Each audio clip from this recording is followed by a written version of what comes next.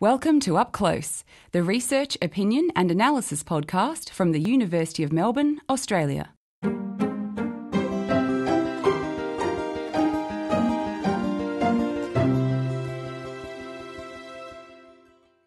I'm Elisabeth Lopez. Thanks for joining us. Over the past decade, India has undergone a cell phone revolution. Just 10 years ago, there was one telephone for every 40 people in India and making a phone call was an experience as challenging and risky as bungee jumping or whitewater rafting, according to our next guest. Today, there are 810 million mobile phones in India for a population of 1.2 billion. Mobile or cell phones and wireless technology have transformed just about every facet of Indian society, from politics to courtship and banking. Fishermen check prices at sea, and farmers can get crop information and terrorists can plan attacks with deadly efficiency. Our guest on Up Close today is Robin Jeffrey, a visiting research professor at the Institute of South Asian Studies and the Asia Research Institute at the National University of Singapore. Robin has written extensively on India's newspaper industry and the politics of media, development, and pluralism. He's co author with anthropologist Assa Doron of Selling India the mobile phone's contribution to capitalism, democracy, and unsettling society. Quite an achievement for a small handheld gadget. Thanks for joining us today, Robin. Thank you for having me. In 1949, India's first Prime Minister Jawaharlal Nehru was afflicted by culture shock after a trip to the United States, and he famously pronounced one should never visit America for the first time. I wonder, Robin, if Nehru would say something similar about India now. Would he recognise his own society, or has the cell phone changed it so much? It's interesting the tradition of the phone in India. The phone until 15, 20 years ago was really regarded as an elite item. A nice example of this, uh, Mahatma Gandhi, who had one of his ashrams in a place called Wardha in central India, had a specially designed telephone box built to his specifications in which to put the telephone, which was regarded as an important item because it was another way of communicating with India and the world. But it was also something that uh, needed to be closely controlled and monitored so that no sort of time wasting went on using the phone. And Gandhi's phone box at Wardha is still part of the display at the ashram. And the, the, key feature for me is, of course, it has a lock on it, and somebody had the key, and you needed to get the key to get at the phone to make a call. And that situation would have prevailed in India until about 10 years ago. Most people would only have encountered a phone if their boss had unlocked a little box that often contained the big Bakelite phone. And that's the way Nehru, for all of his time in India, experienced the phone. Um, when India became independent in 1947, there was something like one phone for every 3,500 people. By the time Nehru died, that was down to one phone for every 800 people. So there'd been a bit of progress but it still meant that most villages had no telephones at all. Um, even in smaller towns, there was no telephony. And it's only in the last, uh, since about 2001, 2002, that there's been this immense explosion of telephonic ability in India. You said that the impact can be compared with the invention of the Colt revolver. What does a mobile phone have in common with a gun? Well, I mean, if you're a fan of old grade B westerns on TV, you know that the Colt or the revolver was known as the Great Equalizer. And the reason for calling it the Great Equalizer was that it gave a child or a woman the capacity to have a lethal weapon, which had never been possible before. Any kind of firearm until the invention of the one handheld Colt um, involved two hands hands. It involves stuffing powder down the barrel of a gun. And a smaller person just found it very difficult to do that. The Colt changed that. It became an equalizer. Mobile phones a little bit like that. It gives people who previously had no capacity or very limited capacity to communicate that capacity. And they can use that capacity, of course, for good things, bad things, democratic things, dictatorial things. But it does level things out, at least in one facet of life. Certainly not in all facets, but in one. You've written about the impediments to the phone uh, being ubiquitous before about 10 years ago, things like, well, copper wire being stolen. Mm. What, what other sorts of things prevented regular phones from being taken up? As you say, one of the uh, aspects was that copper wire is valuable. A meter of copper wire was supposed to be worth hundreds of rupees. So it was a month's salary 25 years ago if you could get hold of a meter of copper wire. So there was a problem of simply keeping the copper wire network intact. The other problem, of course, was rolling out copper wire. India has 600,000 villages. If you roll copper wire to 600,000 villages, it's a lot of villages. And then you have to still get it, what they call in the business the last mile, to individual receivers in people's homes. So uh, there was a huge physical problem with this. And the other side of it, of course, was the problem of the locked phone box.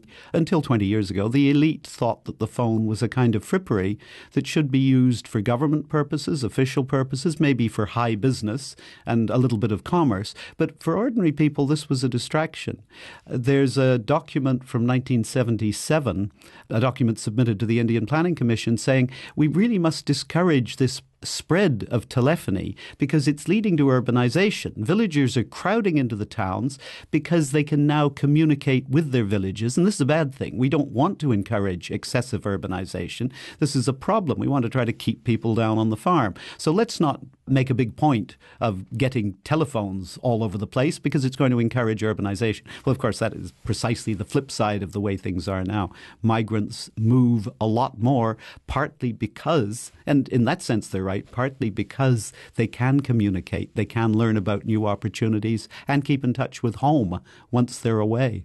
Can you tell me what sort of advances made the adoption of the phone a possibility on a mass basis? The crucial things, I think, were the liberalization of the Indian economy that began after 1991, which allowed private companies to begin to try to exploit the new technical capacity to use radio spectrum to communicate individual to individual rather than just a broadcaster communicating to someone's radio set to allow the kind of two way communication. Now, that was a technological thing which had been developed in Europe in the 1980s. By the early 1990s, it was clear in India that this would be very appropriate to Indian conditions because you didn't need miles of copper wire.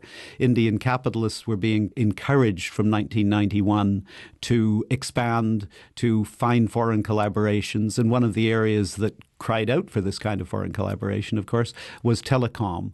And also a change in the mind of the Indian elite that had come with Rajiv Gandhi, that is the um, man who was assassinated in 1991, the husband of Sonia Gandhi, the current president of the Congress Party.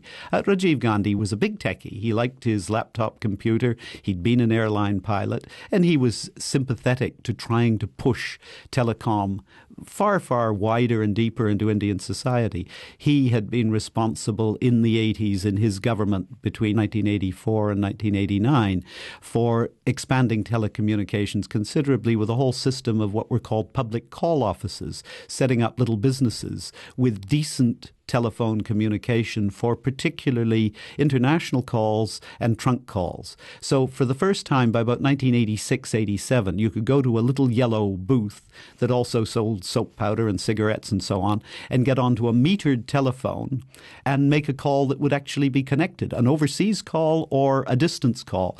Much more difficult to make a call within the town in which you were making the call.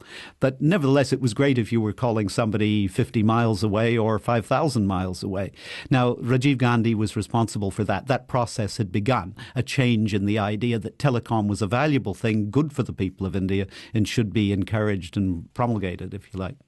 How on earth did banks go about their business in a globalising economy before the cell phone really took root? Well, I think the, the banking story in India is just beginning. We don't yet have anything, as I understand it, the equivalent of PESA, P-E-S-A in Kenya, the big mobile phone based banking system that's been developed in East Africa. There are the beginnings of this in India. An organization called EKO, ECHO, has about 200,000 banking customers and about 1,200 outlets, but based in Delhi and in the eastern states of Jharkhand and Bihar. And there are a lot of Biharis and Jharkhandi migrant workers in Delhi. And what this uh, nascent operation does is give them the opportunity in Delhi to deposit their 25 or 50 rupees that they've earned in the course of the day in an account that is actually operated through their local cigarette shop or grocery store and the mobile phone. And the owner of the store, who's an agent of Eko, uh, records the deposit. They immediately get a receipt for the deposit on their mobile phone while they stand with the shopkeeper, and then they can transmit that receipt to relatives in Jharkhand or Bihar, seven or eight hundred miles away, who can then go to their shop which is an Eko agent, and withdraw the money. So it's a very handy way of getting a population that's largely unbanked into the banking system because the large majority of Indians don't have bank accounts. And really, until you have a bank account, it's hard to get official payments credibly, efficiently paid and recorded. And this has the potential of giving millions of Indians a bank account. But this is, uh, I think, the cutting edge experiment in India with this kind of very simple mobile phone banking that doesn't require you to go into a bank.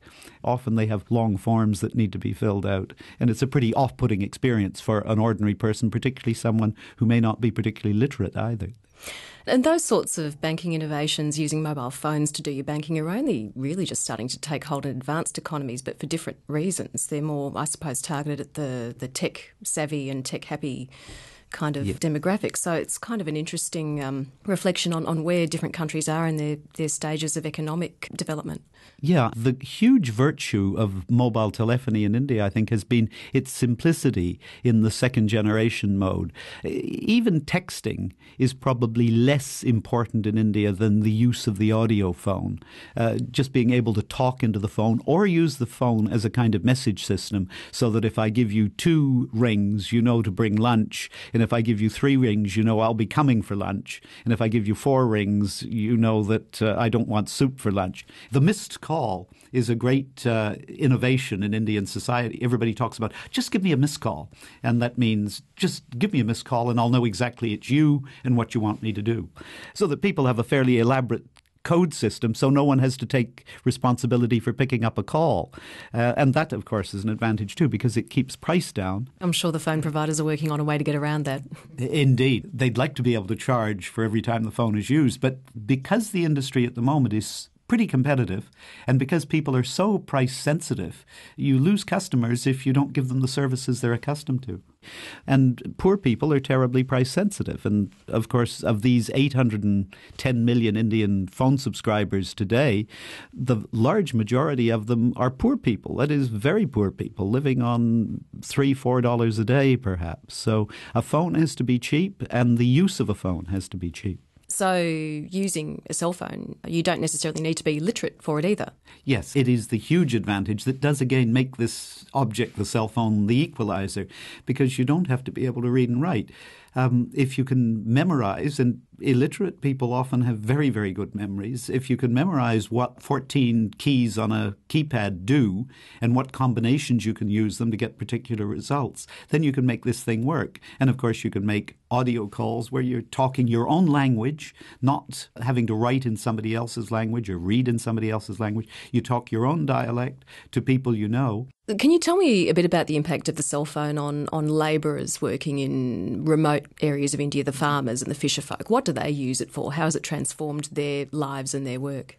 I mean, Indian labour is terribly mobile at the moment. I was at a conference not long ago where it was speculated in any one day there are 100 million people footloose, that is, moving between city and town, working in towns briefly before coming back to their villages, really having to divide their time between their native villages and the towns. Now, the mobile phone has, just as the 1977 report feared, made it a little bit easier to be mobile because you can keep in touch with home but you can also hear about opportunities. So if somebody from your village says, look, they need laborers in this or that place, they'll ring you and tell you, and you can get there. So that's one thing. It's made labor even more mobile than it might have been under other circumstances. The other side is that for small business, the mobile's been pretty useful, I think. The classic case, and one that's been written about many times now, are fishermen off the southwest coast of India who 10 years ago got mobile phones, and it made it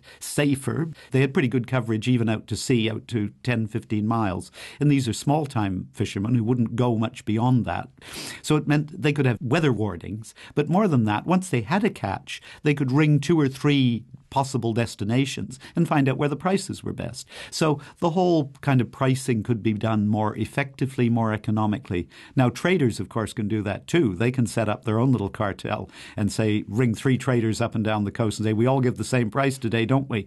And work it out that way. But again, it's a little more equal than it was before when the, the trader might have had an old Bakelite copper line phone in his office and the person outside, the fisherman, had no other way of communicating. So. You're listening to Up Close. I'm Elisabeth Lopez, and I'm talking with Professor Robin Jeffrey about the impact of the cell phone on India. Robin, speaking of phoning home, what has been the impact on traditions like courtship and on the status of women? That's one of the great questions that's being posed by the phone. My colleague Assa Doron is an anthropologist, and the book we're writing, he's working on these domestic questions, and I'm working more on the politics and political economy. But just to give you one example that Asi has found a number of times with people he's acquainted with over his years of working in North India, um, the question now that's often posed in joint families is when a new daughter in law arrives in a family, does the mother in law take away the girl's mobile phone or does she allow her to keep her mobile phone?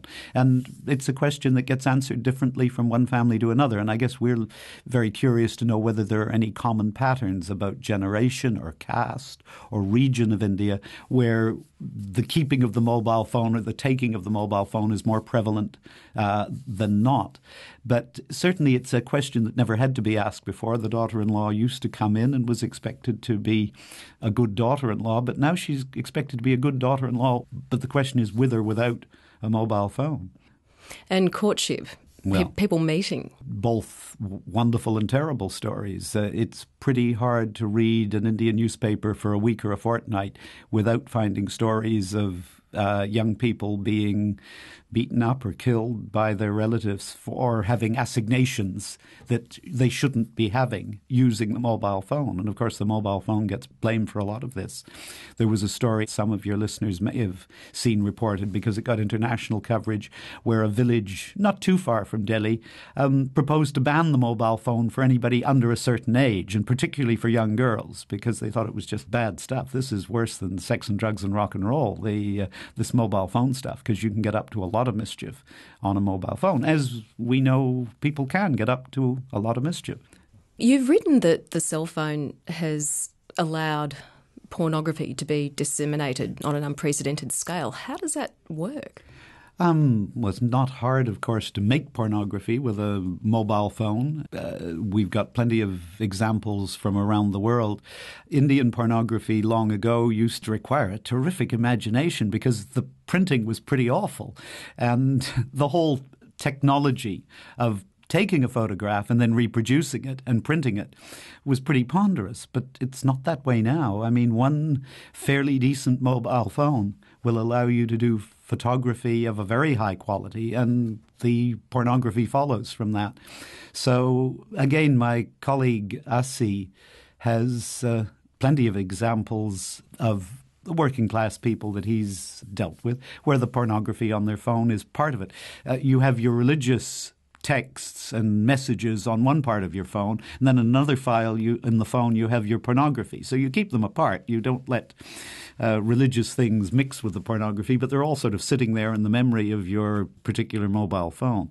So good and evil, you know, good and bad, all kind of lurking in the mobile phone. This must make sexual politics quite complicated because uh, are we still talking about a time in which Bollywood films still don't allow kissing? I think you might get the odd peck occasionally. And I mean, not allowing kissing never prevented starlets from standing under waterfalls in sort of body hugging saris. So, you know, Bollywood's always found ways of getting around minor things like government censorship to get the idea across, if not the precise image. Robin, let's turn now to the impact of the cell phone on politics. When Barack Obama was elected US president, a large part of the success of that campaign was attributed to the Democrats' use of social media, in particular Facebook. You suggest something analogous may have happened with the mobile phone in the 2007 elections in Uttar Pradesh, India's largest state.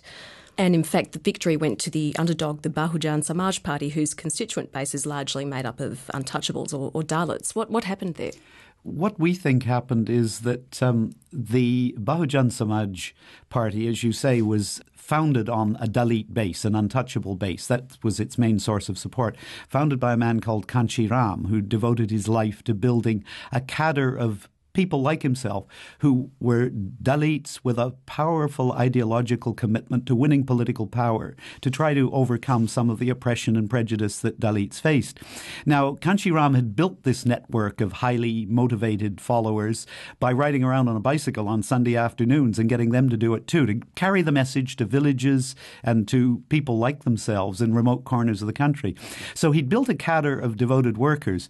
Um, 2007 was the first time those devoted workers had mobile phones. So instead of bicycles, the kind of organization they had was able to communicate using cell phones. And the organization was such that um, there were booth captains for every polling booth in UP. The Bahujan Samaj was that effective. Virtually every polling booth, 100,000 polling booths. This is a, a big operation.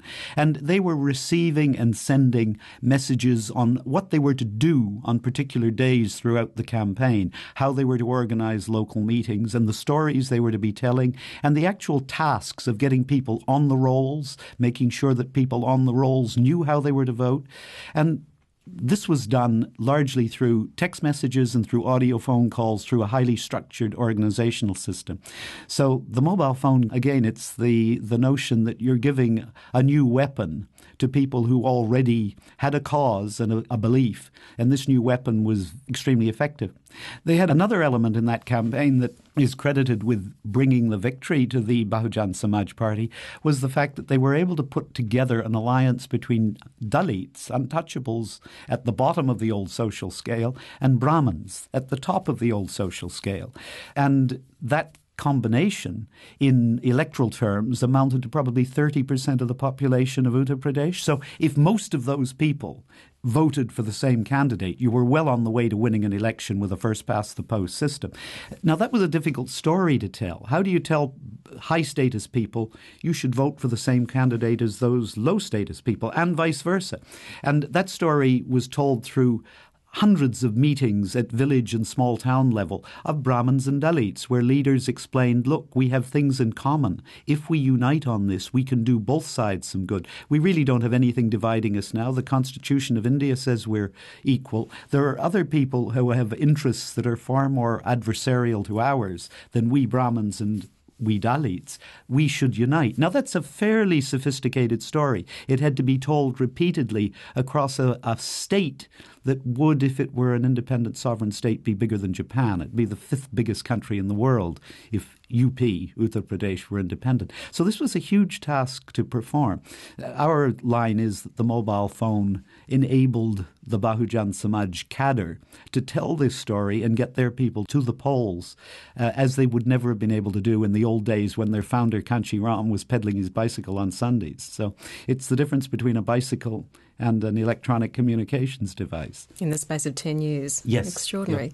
Yeah. Have the um, political opponents of Bahujan Samaj caught up in terms of their use of the cell phone for their political campaigning? Very much. Everybody loves the cell phone, and others imitate it. People who were with the BSP in 2007 have since left them and taken the technique with them. But of course, it's not the cell phone by itself, it's the cadre, the dedicated true believers, plus the cell phone.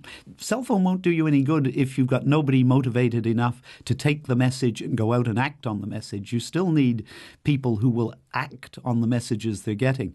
The Congress Party in May of 2011, there were state elections in four of the Indian states the Congress Party, particularly in the southern state of Tamil Nadu, had all the technological wizardry it could possibly have hoped for and came up a very disappointing result. The technology alone was not enough. They didn't have the true believers using the technologies. And I suppose it favours the nimble, doesn't it? So a small party might do better out of using technology. Yes, again, if the belief is there and you've got the workers to transmit it, and if you're telling a story, of course, that a particular electorate finds vaguely plausible, then you've got a pretty potent combination. You're listening to Up Close. I'm Elisabeth Lopez and I'm talking with Professor Robin Jeffrey about the impact of the cell phone on India. Have you been able to observe impacts on how ordinary Indians use public services and I guess hold public servants or bureaucracies to account. Has there been a discernible effect on that? I think so. Again, with the elections, the 2007 elections in Uttar Pradesh were said to be one of the fairest, straightest, best organised elections ever held, partly because the election officials and the police officials providing them with the security were all connected by mobile phones. And it meant that anyone detecting misconduct could ring an election commission officer and a flying squad of police would arrive or an election commission official would arrive.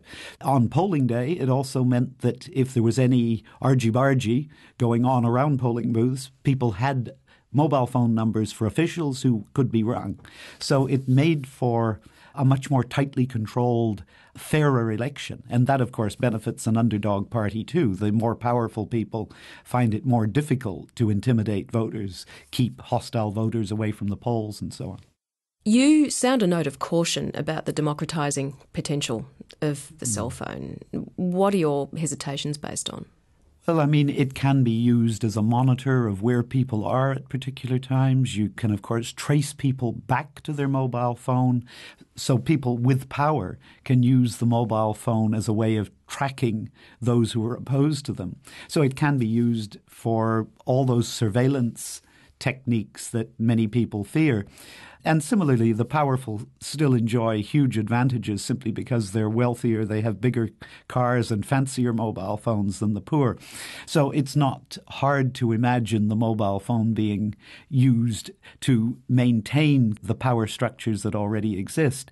But for the time being, at least, it is a new kind of weapon. The other comparison we've used when we've been trying to think about just what this means is with shoes. You know, shoes were probably the earliest human communications device. Some people had them and some people didn't. The ultimate male chauvinist put down begins with barefoot and then goes on to pregnant and in the kitchen. Take away somebody's shoes and you disempower them. Take away their mobile phone and you disempower them. Give them shoes and they can do things they couldn't do before. Give them a mobile phone and they can do things they didn't do before. And we don't wear our shoes in bed usually, but lots of people take their mobiles to bed. Revolutions are notorious for eating their own children, and this one is no exception. Uh, and in 2011, a former communications minister was arrested over allegations that he manipulated the allocation of spectrum for 2G services. The Indian government ended up getting a minuscule sum in licence fees from the big telcos, and the allocation process itself was bizarre, as, as hmm. you've written. Yes, I mean, the two allocations of spectrum that we've currently had have both ended up with the ministers involved being implicated in criminal proceedings. The minister in charge of 1G back in the 1990s has been convicted, though he's never served time in jail, but has been convicted and is still out on bail. The minister in charge of the 2G operation of four years ago is currently charged and being held in a prison in Delhi. The stakes in this allocation of radio frequency are huge. India's largest capitalists are involved in bidding for and then using radio frequency spectrum because there are hundreds of millions of dollars at play in this.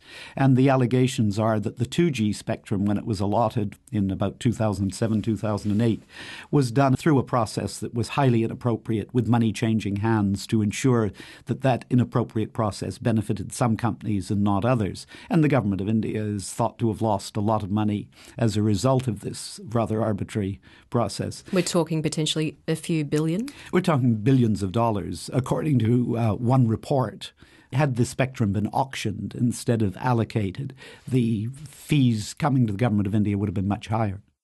Robin, you're not at all reticent in wanting your research to be a basis for, for better policy. What's missing right now from telecommunications policy in India? That's a very good question. Uh, I think a much more empowered regulator, the TRAI, the Telecom Regulatory Authority of India, is kind of a toothless tiger. And although it often has good documents in front of it, it finds it very difficult to have those proposals implemented. There's still a, a bit of a struggle, too, between the, the government, which has a very strong hold through its Department of Transport. The government still owns two telecom companies. The Department of Transport and Telecommunications attempts to assert its control over radio spectrum, often constraining the rollout of services looking to protect its own interests.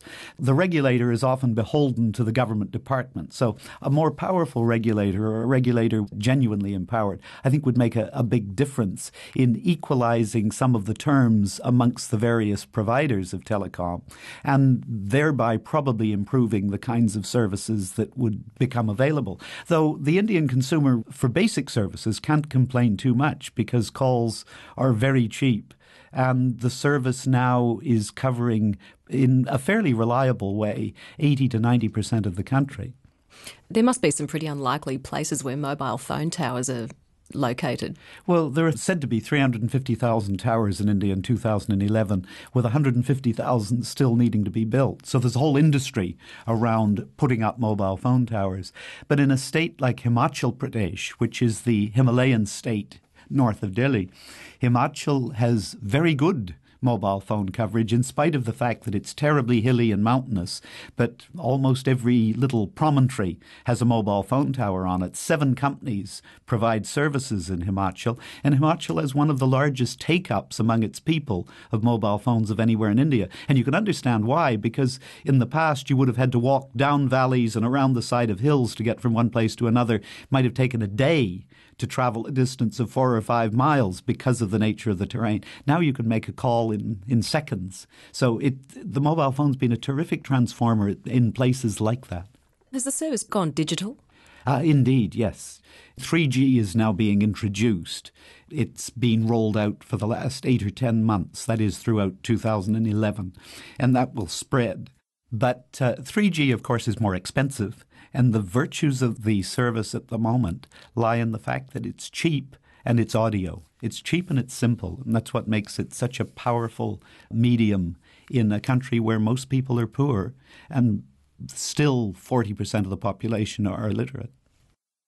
Professor Robin Jeffrey, thanks so much for being our guest on Up Close today. Thank you very much, Elisabeth. I've enjoyed it. That was historian and political analyst Dr. Robin Jeffrey. Relevant links, a full transcript, and more info on this episode can be found at our website at upclose.unimelb.edu.au. Up Close is a production of the University of Melbourne, Australia. This episode was recorded on the 16th of June 2011, and our producers were Eric Van Bemmel and Kelvin Parham. Audio engineering by Gavin Neighbour.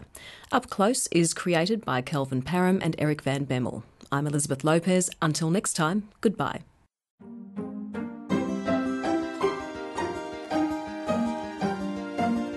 You've been listening to Up Close. For more information, visit upclose.unimelb.edu.au. Copyright 2011, The University of Melbourne.